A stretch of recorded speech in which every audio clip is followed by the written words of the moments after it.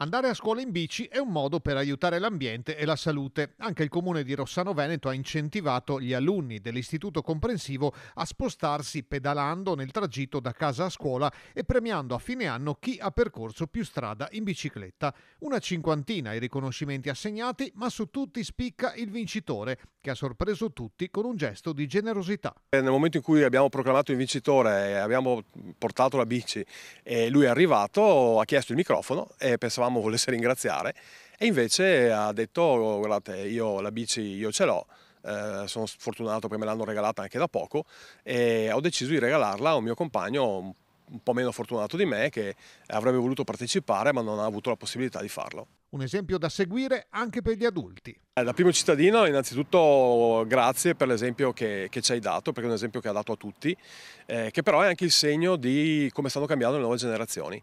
Eh, generazioni di ragazzi che stanno crescendo con uno spirito eh, di condivisione, di fratellanza e anche di generosità che sicuramente le generazioni passate avevano in modalità diverse. L'altruismo che questo giovanissimo ha dimostrato è stato spontaneo e sostenuto da una comunità educante importantissimo il lavoro che viene fatto dai nostri formatori eh, dagli insegnanti. Noi abbiamo la fortuna di avere un istituto comprensivo molto attento anche sul tema della gentilezza e del rapporto proprio tra i ragazzi e devo dire che quando si lavora bene poi i risultati si vedono.